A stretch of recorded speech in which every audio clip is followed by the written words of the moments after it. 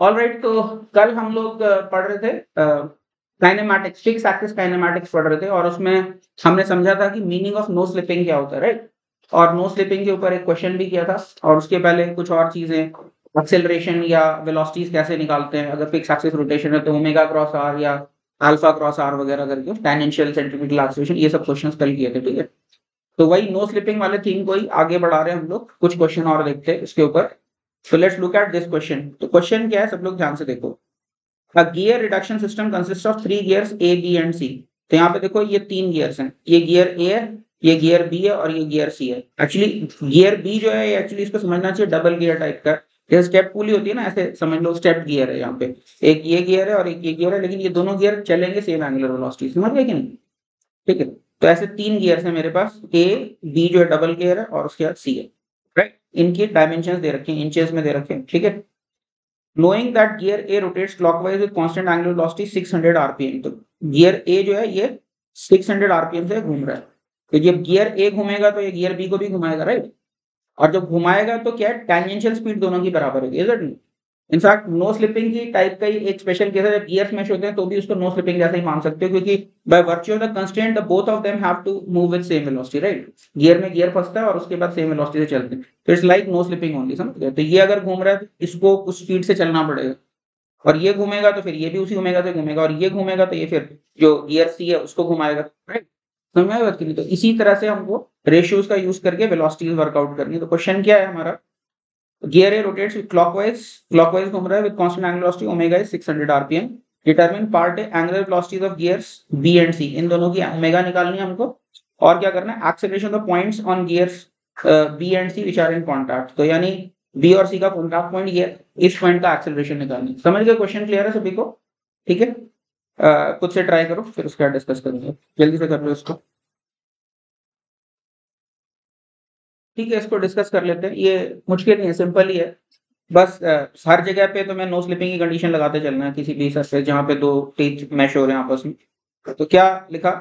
मैंने due to no slipping tangential speeds at the contact points must be same तो इसलिए यहाँ पे मैंने लिखा omega A into R A should be equal to यहाँ पे omega B into R B R B इस कॉन्टैक्ट पॉइंट का रेडियस में बोलो कॉन्टैक्ट पॉइंट तो इससे बस तो 600 RPM into two inch should be equal to omega B into four inch भाई द वे डबल डैश का मतलब इंचेस होता है, ठीक है? ओके तो इससे ओमेगा भी मेरी आ गई 300 आरपीएम तो ये 300 आरपीएम से घूम रहा है। कैसे घूम रहा होगा? ये ऐसे घूम रहा है तो ये उल्टा घूम रहा होगा। एक क्लॉकवाइज होगा तो दूसरा एंटी क्लॉकवाइज होगा machine get right similarly due to the inner gear contact with C अब यहाँ पे क्या है? इनर गियर का जो रेडियस है वो टू इंचेस ही है, ध्यान रखना, ठीक है? ओके तो तो यहाँ पर भी मैं वेलोसिटी बराबर कर रहा हूँ। तो omega B into two inch ये समझ गए? ये इस पॉइंट की contact velocity that should be equal to omega C into six inches तो इससे ओमेगा सी की वैल्यू आ गई हंड्रेड आरपीएम ओके अब इसके बाद तुम्हें एक्सेलरेशन पूछा इस पॉइंट का। तो जो गियर सी का है, उसका सेंट्रीपिटल एक्सेलरेशन इधर होगा और जो गियर बी का पॉइंट है, उसका सेंट्रीपिटल एक्सेलरेशन इधर होगा। ठीक है? तो सेंट्रीपिटल एक्सेलरेशन होगा कितना? Omega square into radius right बस वही कर तो एक्सेलरेशन ऑफ़ सी क्या हो जाएगा? Omega C square into R तो इनर गियर के लिए omega B square into two inches हो जाएगा। तो वो कैलकुलेट करोगे तो अप्रोक्सीमेटली इतना आ जाता है। Two into ten three inch per second square ठीक है? मैंने मीटर्स में नहीं कन्वर्ट किया। सब कुछ इंचेस में तो इंचेस में ही रिकॉर्ड कर दिया राइट इसी तरह से सी के लिए सी की ओमेगा स्क्वायर इंटू रेडियस उसका सिक्स इंचेस है। तो ये two by three into ten power three inches per second square आ जाएगा, ठीक है? तो I hope this is clear to everybody आया सभी को समझ में? ठीक है? आगे बढ़ सकते हैं?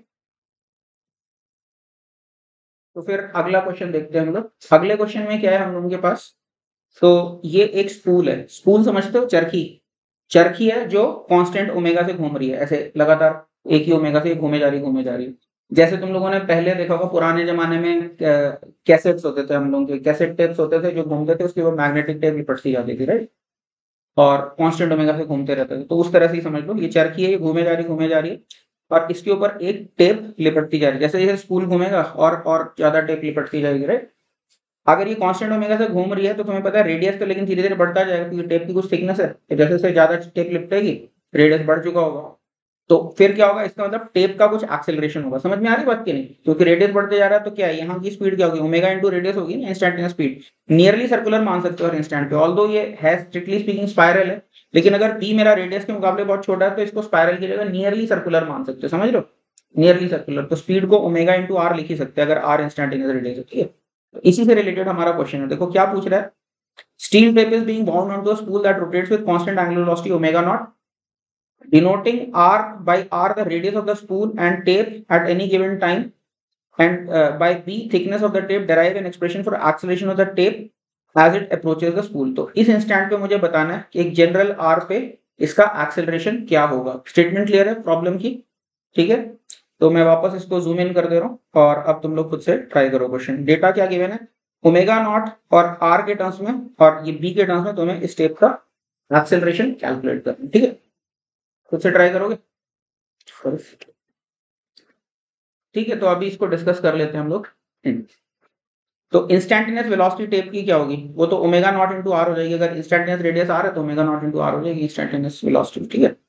तो एक्सेलरेशन क्या हो जाएगा? तो हम कह सकते हैं ओमेगा नॉट तो मेरा फिक्स है। कांस्टेंट ओमेगा से घूमे जा रहा है। तो ओमेगा नॉट तो फिक्स है। Omega naught into R dot यानी omega naught into D R by D T ये मेरी एक्सेलरेशन हो जाएगी राइट अब D R by D T निकालना है। तो देखो, हर टर्न में क्या है? थिकनेस जो है स्पूल की बी से हमारी बढ़ जा रही है।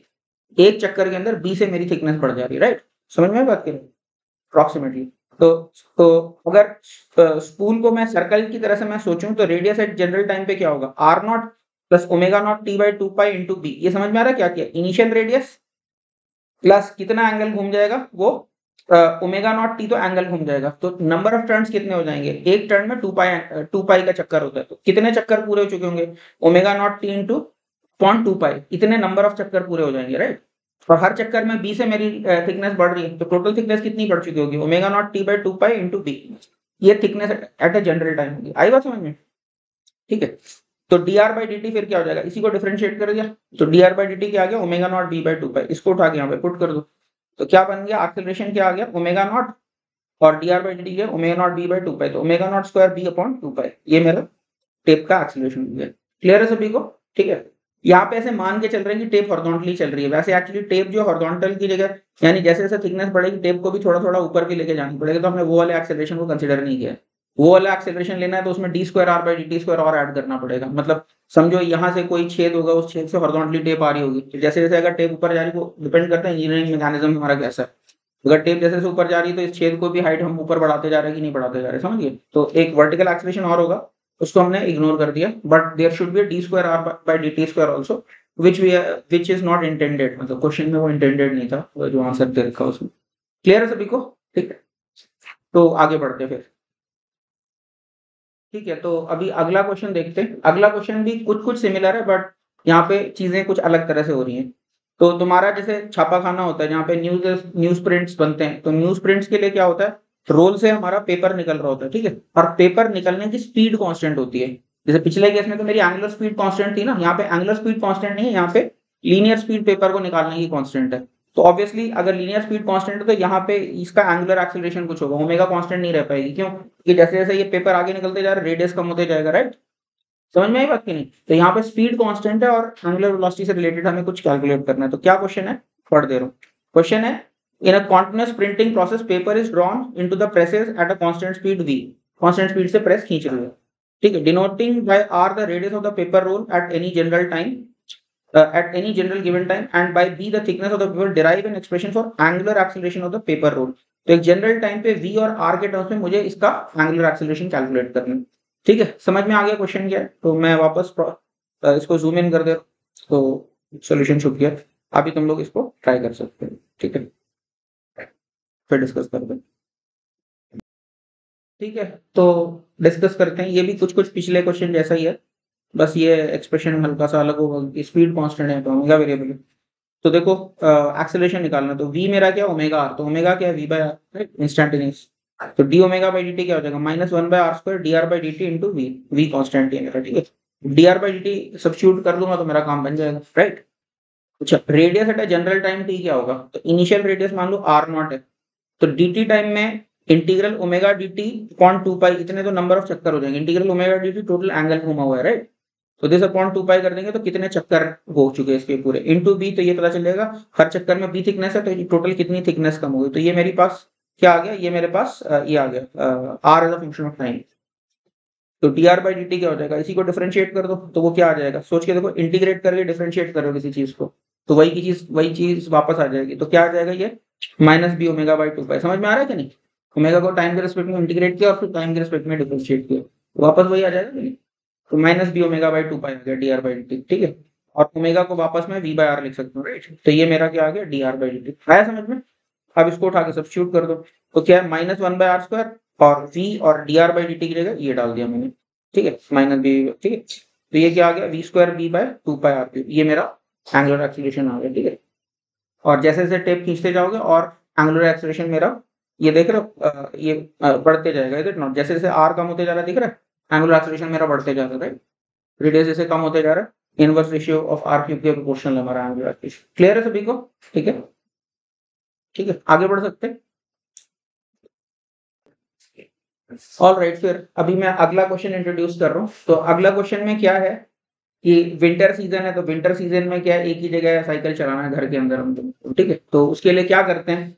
साइकिल का पिछला व्हील है और पिछला व्हील एक ही जगह घूमने वाला और नीचे जो हमने क्या दे रखा कन्वेयर टाइप का दे रखा है ओके तो जैसे ट्रेडमिल नहीं होता ट्रेडमिल में एक पीछे चलते रहता है जो वो कन्वेयर होता है वो पीछे चलते रहता है उसके ऊपर तुम एक ही जगह पे भागते रहते हो। तो उसी तरह से यहाँ पे क्या ये कन्वेयर टाइप का अरेंजमेंट है जिसमें ये कन्वेयर पीछे भागते जा रहा होगा और इसकी साइकिल जो एक ही जगह से चल रही है और कन्वेयर जो ऐसे करके जा रहा है समझिए इस तरह की situation right so no what is happening यहाँ पे जब हम पेडल मार रहे हैं तो पेडल का जो रेडियस है वो पेडल का जो रेडियस दे रखा है वो 6.5 इंच है। जनरली तुम देखते पेडल का जो रेडियस होता है, यानी पेडल जो पिवटेड होता है, उससे जो पेडल तक का जो डिस्टेंस होता है, जहाँ पे एक्चुअल तुम पैर रखते हो तो वो जो रेडियस होता है, वो इस वाले व्हील के रेडियस से ज़्यादा होता है। ये जो बेसिकली गियर यहाँ पे गियर होता है ना गियर टाइप का रेडियस होता है, इस गियर के रेडियस से ज़्यादा होता है पेडल का रेडियस तो वही दिख रहा है। तो पेडल का रेडियस कितना दिख रहा है? सिक्स पॉइंट फाइव इंच तो six point five inch radius पे तुम पेडल मार रहे हो, जिसकी वजह से ये गियर घूम रहा है। और इस गियर का खुद का रेडियस कितना है? डायमीटर सेवन इंच है, यानी इसका रेडियस जो थ्री पॉइंट फाइव इंच है राइट अभी क्या होगा? पेडल मारोगे तो ये गियर घूमेगा। ये गियर घूमेगा तो गियर के साथ तुम्हारी चेन लगी हुई है राइट ओके और पीछे इसको स्प्रॉकेट कहा जाता है। चेन के अंदर जो फिट होता है that's called sprocket which is also a kind of gear only तो ये स्प्रॉकेट के अंदर ये चेन फंसी हुई है, और ये चेन जैसे जैसे चलेगी, ये पीछे वाले स्प्रॉकेट को घुमाएगी, जो ऐसे ऐसे स्प्रॉकेट राइट ऐसे ही होता है ना साइकिल में।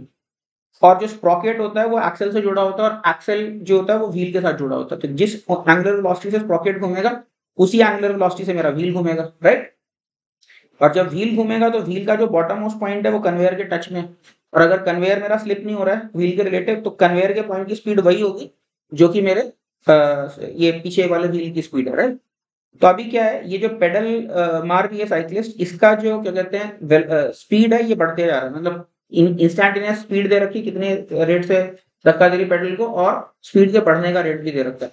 उसका यूज़ करके हम को क्या करना है इस प्रॉब्लम में? मेरे को डी की वेलोसिटी और एक्सीलरेशन निकालना है। यानी D point D of the conveyor जो है उसकी वेलोसिटी और एक्सीलरेशन में हमें कमेंट करना है ठीक है? तो मैं पढ़ दे रहा हूँ अभी फॉर्मली क्वेश्चन क्या है? तो here's the question let me read A cyclist uh, uses a stationary trainer during the winters to keep in shape. Knowing that she pushes down on her pedal with a velocity 26 inches per second, that increases at the rate of 2 inch per second square. ठीक है? ये linear acceleration दे रखा, ध्यान रखना। 2 inches पर second square जो है, ये इसका आर अल्फ़ा होगा, इधर। इंचेस पर सेकंड स्क्वायर यूनिट से समझ में आ रहा है? वो आर अल्फ़ा की वैल्यू पेडल का अगर रेडियस आ रहा है तो आर अल्फ़ा की वैल्यू ये दे रखी है right determine the velocity and acceleration of point D on the bottom of the rear wheel तो ये पॉइंट डी का मुझे वेलोसिटी और एक्सीलरेशन निकालना है। In fact the bottom of the rear wheel के दो इंटरप्रिटेशन हो सकते हैं। कन्वेयर का पॉइंट है या फिर ये व्हील का पॉइंट है। वैसे ये तो क्वेश्चन तो व्हील का ही पॉइंट बोल रहा है। अगर व्हील का पॉइंट है तो एक्सीलरेशन में उसका सेंट्रीपिटल एक्सीलरेशन और टेंजेंशियल एक्सीलरेशन दोनों आना चाहिए, ठीक है?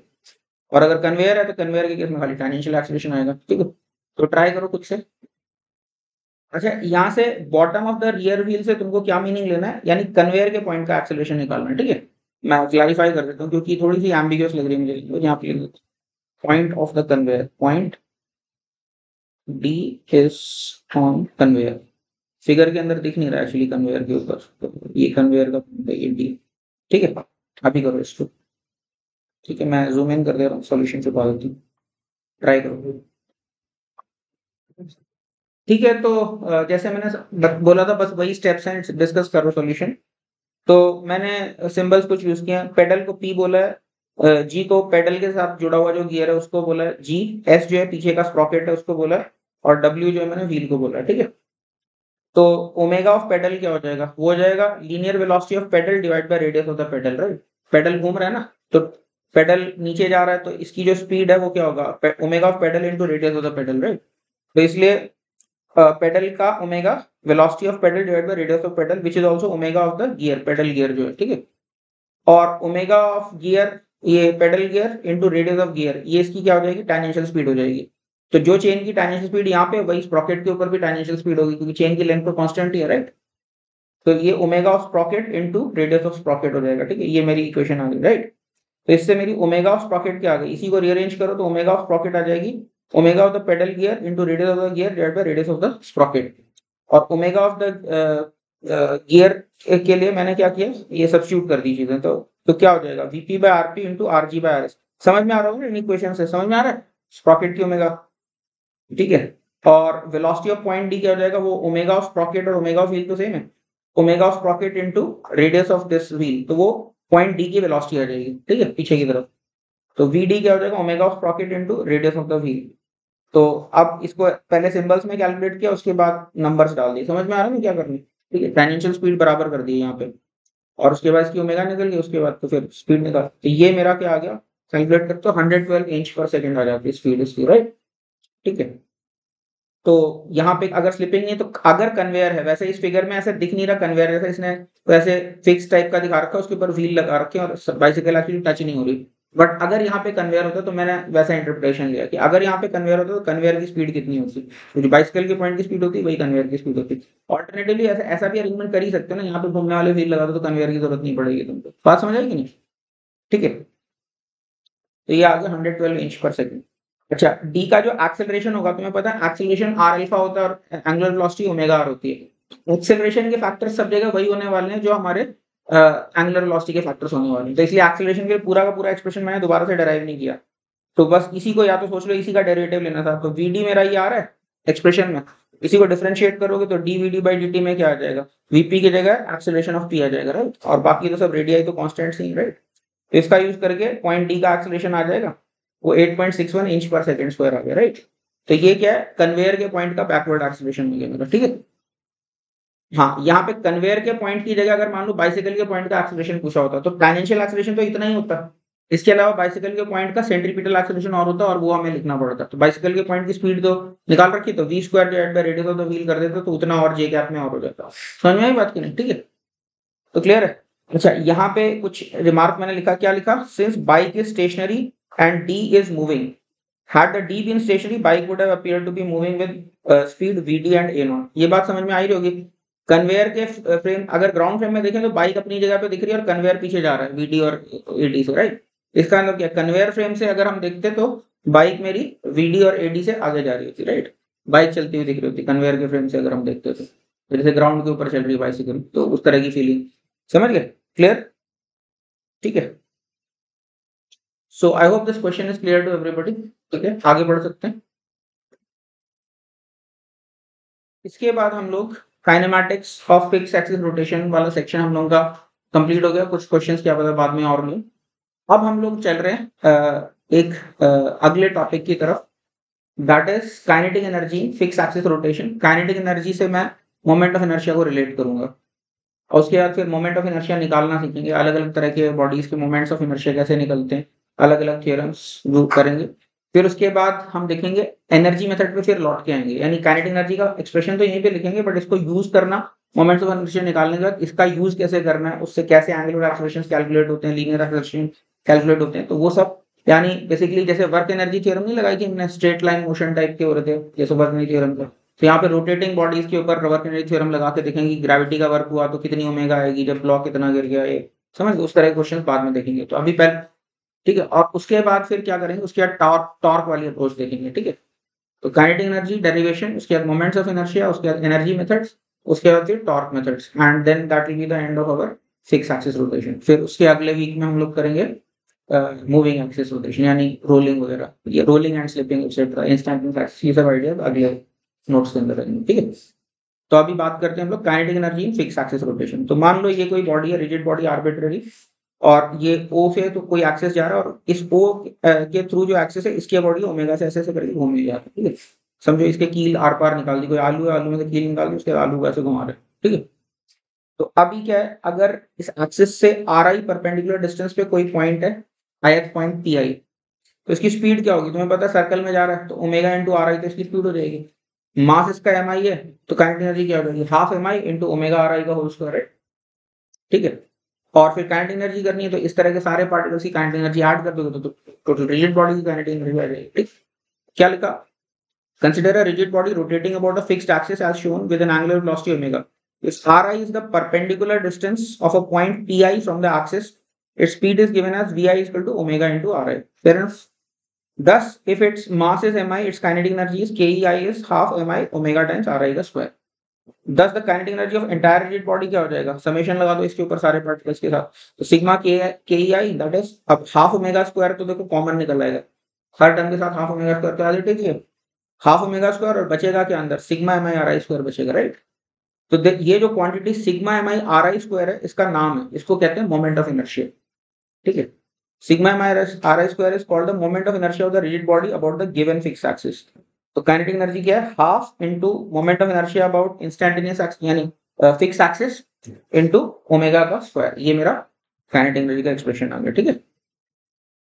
तो जिसमें से ये आई ए क्या हो गया मेरा? ये मोमेंट ऑफ़ इनर्शिया हो गया एक्सिस ए के अबाउट ठीक? Sigma m i r square In the upcoming sections, we will be deriving moments of inertia of some standard geometries and also prove that state some important theorems related to moments of inertia of various bodies तो ये धीरे धीरे करके देखेंगे अभी यहाँ पे ये देख लो काइनेटिक एनर्जी का डेरिवेशन समझ में आया सभी को। Straightforward I don't think इसमें कोई डाउट होना चाहिए। ठीक है क्लियर है ना ये? तो फिर आगे बढ़ सकते हैं, ठीक है?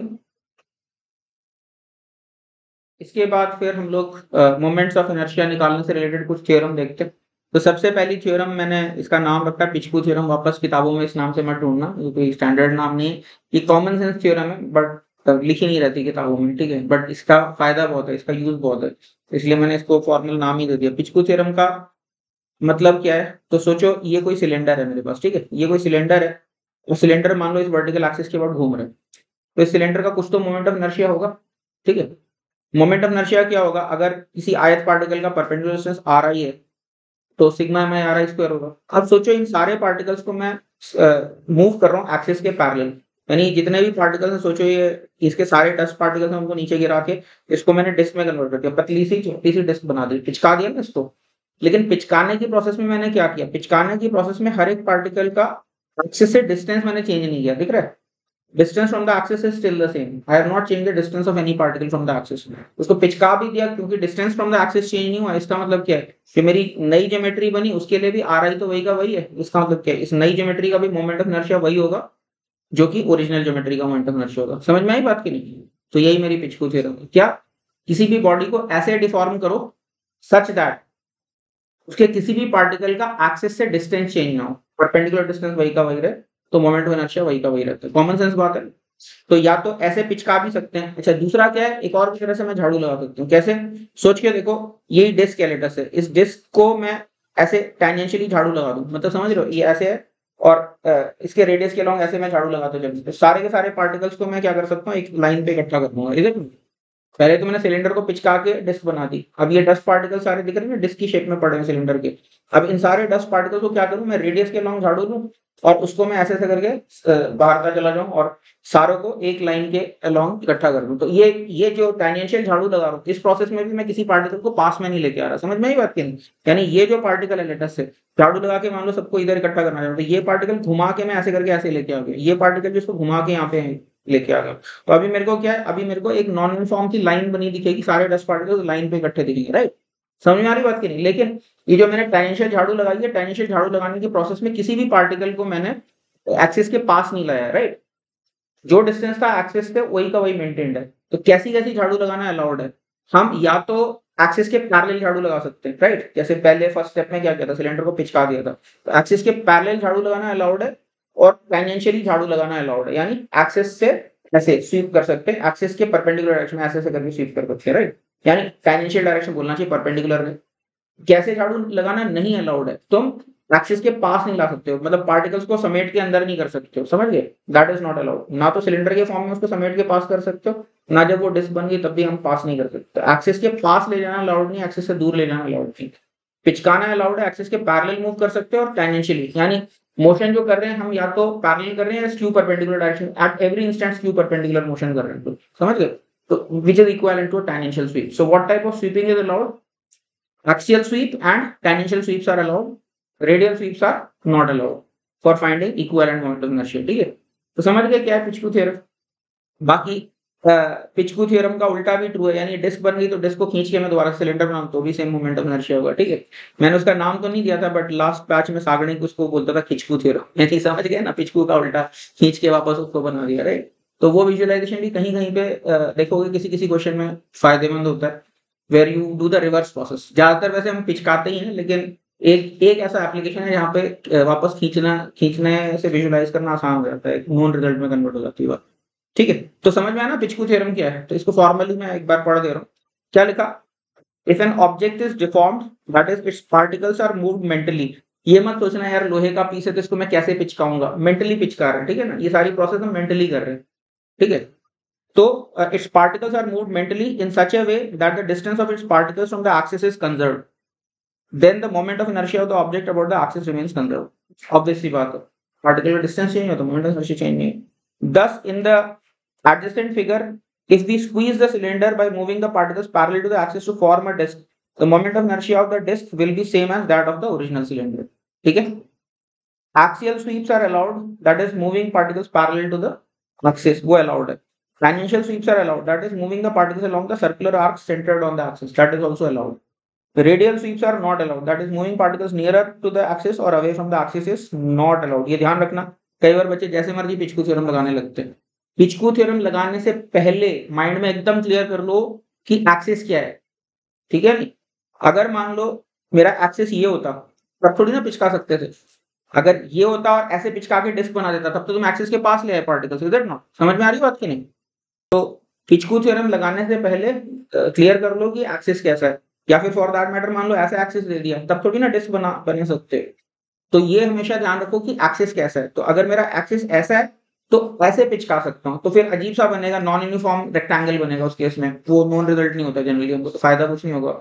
लेकिन डिस्क का हम लोगों को मालूम रहता तो ऐसे पिचका सकते समझ में आई बात की नहीं? तो before applying पिचकू theorem make sure you understand where is the axis उस एक्सिस के पैरेलल या टेंजेंशियल ही चला सकते हो पार्टिकल्स को। ऐसा नहीं कि किसी भी चीज़ को जैसे मर्ज़ी पिचका दो। ठीक है? ऐसा नहीं है।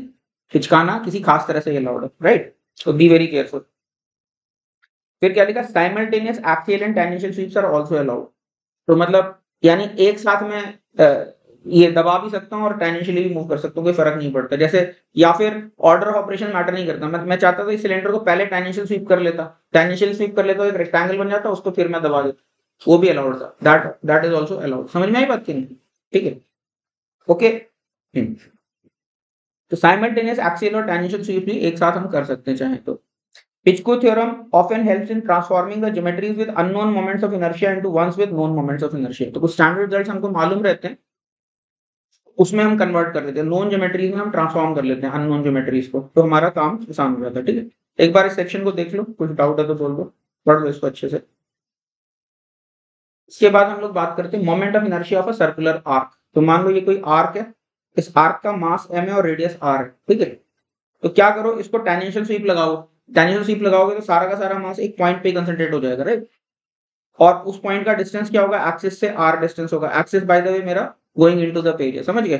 पासिंग थ्रू पॉइंट हुआ and going into the page तो इसकी टेंजेंशियल स्वीप लगाई तो सारा का सारा सिंगल पार्टिकल ही बन गया ना। एक particle at a distance r तो उसके बाद तो मोमेंट ऑफ़ इनर्शिया लिखना सिंपल ही अगर सिंगल पार्टिकल ही है, पर एक्सिस से आर डिस्टेंस पे तो उसका मोमेंट ऑफ़ इनर्शिया होगा। मास इनटू आर स्क्वायर हो जाएगा। समझ में आई बात की तो ये तो डायरेक्ट ही है। सर्कुलर आर्क का क्या बन जाएगा?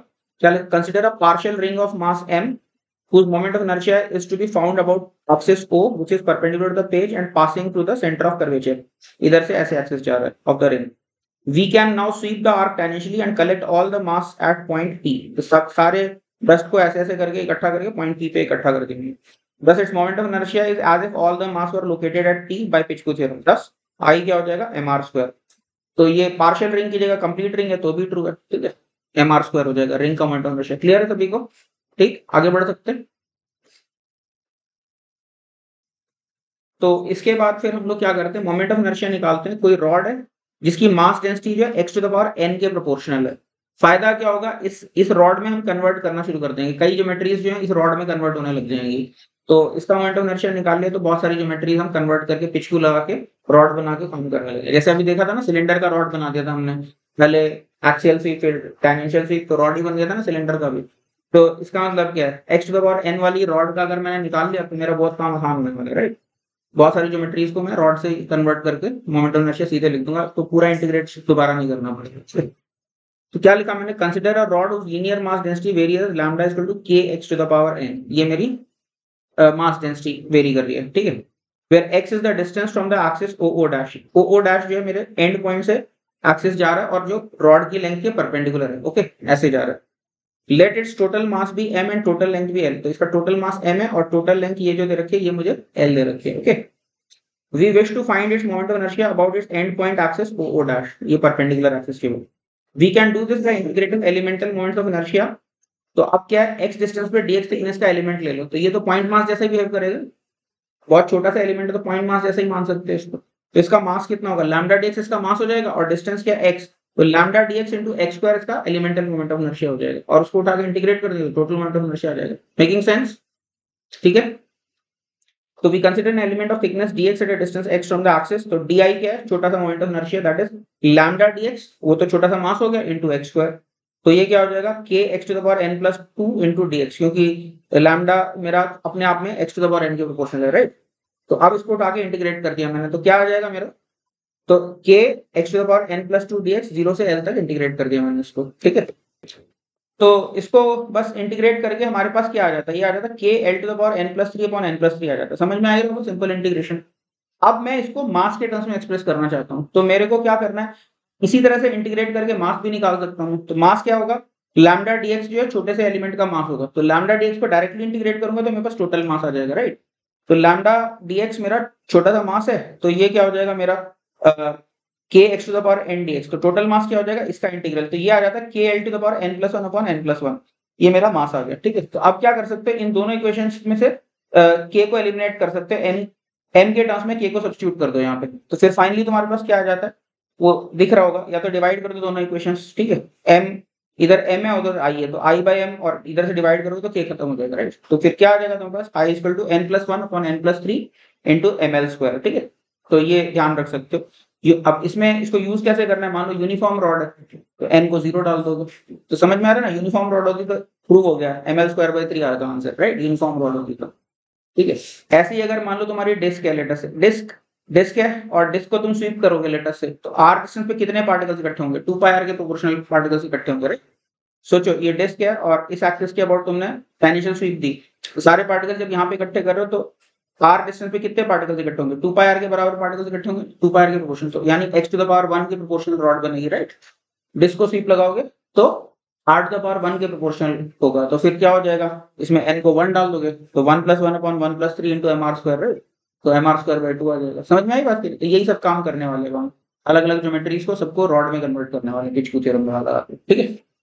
तो एक बार देख लो, इस सेक्शन में कहीं पे भी डाउट है तो मेरे को बोल दो, फिर उसके बाद मोमेंट्स ऑफ़ इनर्शिया निकालते हैं।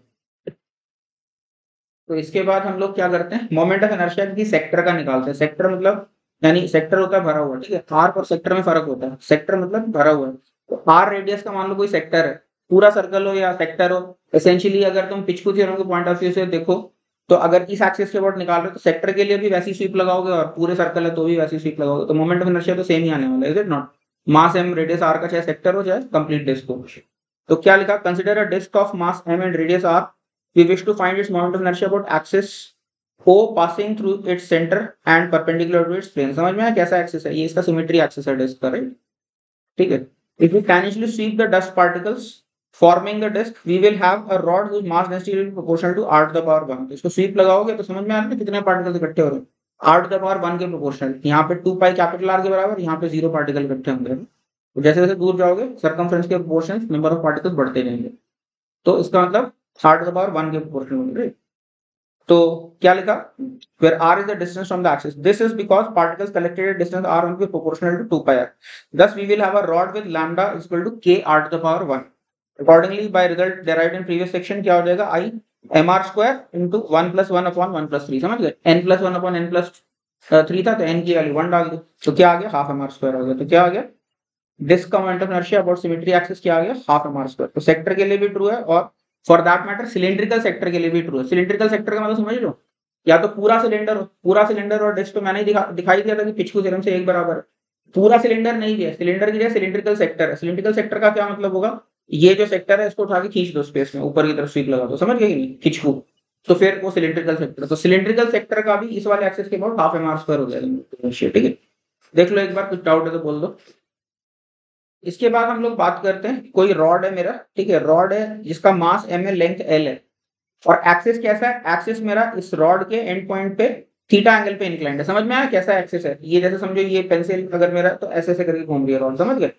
तो वर्टिकल से थीटा एंगल पे मेरी रॉड इंक्लाइंड है, ऐसा बोल दो एक्सिस वर्टिकल है, या फिर मतलब समझ गए? रॉड के रिस्पेक्ट मेरा एक्सिस का एंगल थीटा है राइट ये एक्सिस रॉड का एंगल थीटा अब इसका मोमेंटम इनर्शिया मुझे निकालना तो क्या करें?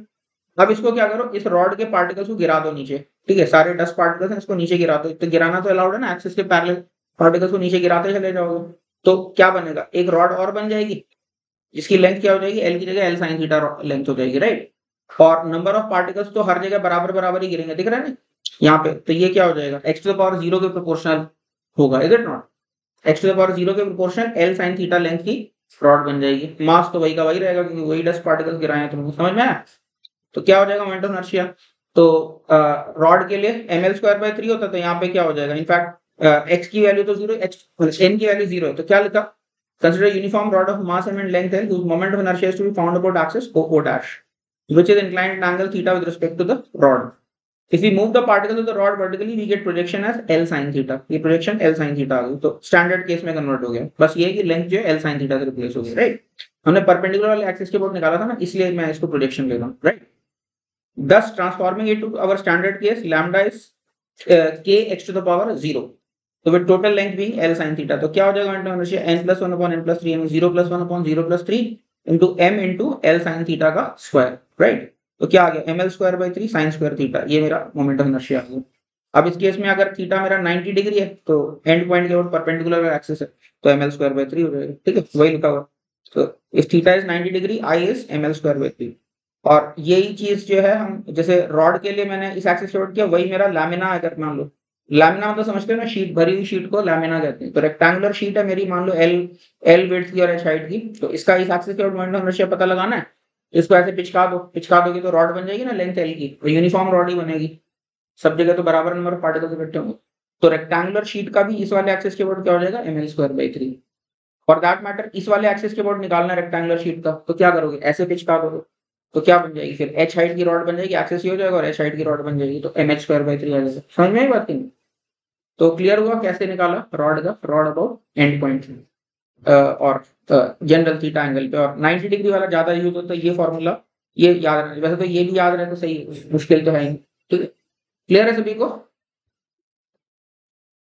इसके बाद हम लोग बात करते हैं moment of inertia of a rod about its perpendicular bisector तो ये बहुत ज़्यादा यूज़ होता है रिज़ल्ट इसलिए डराइव किया। तो परपेंडिकुलर बाइसेक्टर मतलब क्या इसको दो आधी रॉड्स के बराबर ट्रीट कर सकते हो राइट अगर पूरी रॉड का मास एम है तो इसको सोच सकते हो कि एल बाई टू रॉड की एल बाई टू लेंथ की रॉड है मास इसका एम बाई टू और इधर भी एल बाई टू लेंथ की रॉड है, और मास एम बाई टू है। और रॉड अबाउट एंड पॉइंट तो निकाल ही रखा है तो एंड पॉइंट वाला रिज़ल्ट निकाल दो। आधी रॉड का निकाल के डबल कर दो। समझ में आई बात की तो पिछले केस में रिड्यूस हो रहा है ना ये। क्या हो जाएगा? There the problem can be divided into finding moment of inertia of two rods, each of length L by 2. Thus using the result of previous case I क्या हो जाएगा? मास की जगह एम बाई टू रखा length की जगह L by two रखा तो M by two into L by two का स्क्वायर डिवाइडेड बाई थ्री तो ये राइट हाफ़ का हो गया, इतना लेफ़्ट हाफ़ का, इसलिए इंटू टू तो ये क्या आ गया? M L square by twelve तो ये याद रखना ठीक है? तो रॉड का परपेंडिकुलर बाइसेक्टर के ऊपर कितना होता है? M L square by twelve इसी की जगह अगर मान लो मिड पॉइंट से पास कर रहा है, लेकिन थीटा एंगल पे एक्सिस तो फिर M L square by twelve sine square theta हो जाएगा. वो समझ में आ रहा होगा, है ना? वापस पिचकू थ्योरम लगाओगे और स्टैंडर्ड रॉड में कन्वर्ट करोगे। तो देख लो कुछ डाउट है तो बोल सकते हो। ऑल्टरनेटिवली इस रॉड को मैं टेंजेंशियल स्वीप करके इसी के ऊपर ओवरलैप कर सकता था। तो ये क्या बन जाता? एम मास की एल बाई टू लेंथ की रॉड बन जाती। तो उसके अंदर वैसे ही लगा सकते हैं M L square by three है तो एल की जगह एल बाई टू डालोगे तो M L square by twelve ठीक है? तो क्लियर है? आगे बढ़े। इसके बाद हम लोग बात करते हैं moment of inertia of a triangular lamina axis parallel to the base through the apex तो ये कोई ट्राइंगल है।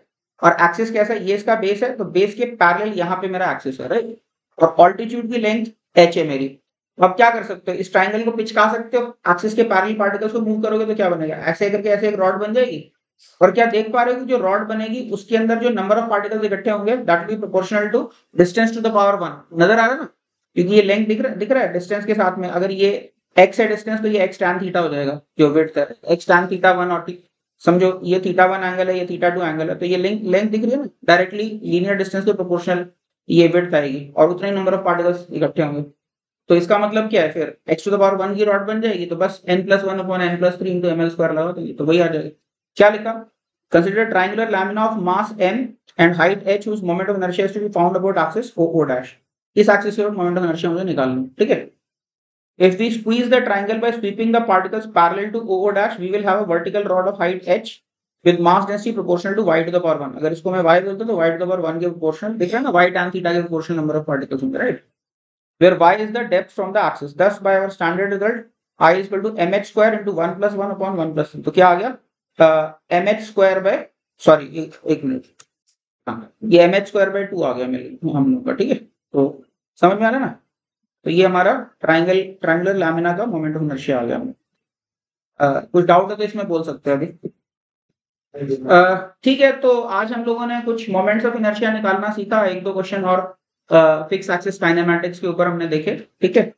तो अगली क्लास जब भी होगी हम लोगों की उसके अंदर थोड़े और मोमेंट्स ऑफ़ इनर्शिया देखेंगे। कोनिकल शेल का फिर सॉलिड कोन का मोमेंट ऑफ़ इनर्शिया फिर सॉलिड स्फीयर का स्फेरिकल शेल का ये सारी चीज़ें हम लोग आने वाले क्लासेस में देखेंगे। और उसके बाद will also learn some more theorems related to moment of inertia ठीक है तो ये सारी कहानी नेक्स्ट क्लास में all right so this is it for today's class thank you